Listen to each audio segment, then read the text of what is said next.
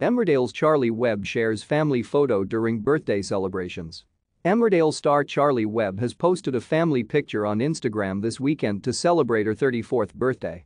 The soap actress, who plays Debbie Dingle on the show, posted the picture of her, as well as her three sons, Buster, Bowie, and Ace, and her husband and fellow Emmerdale star Matthew Wolfenden, who plays David Metcalfe.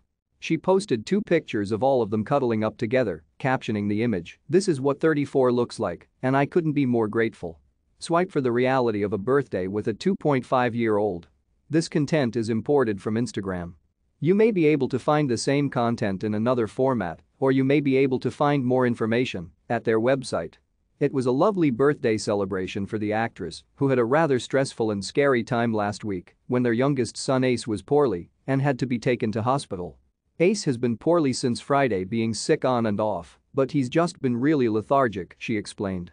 And then on Saturday he took a turn for the worse we had to get him into hospital. Yeah, he's not been great, but then today he's turned a bit of a corner, she reassured her followers, but it's been really scary, we had the ambulance out and everything. This content is imported from Instagram. You may be able to find the same content in another format, or you may be able to find more information at their website. Related, Emmerdale addresses Charley Webb's future as Debbie Dingle Charley continued, I think there is a sickness bug going around so just keep your eyes on that, but there's nothing worse than when your kids are ill. I've never had one so poorly, and it's been beyond scary. The hospital and paramedics were amazing with him. So important to always follow your instinct.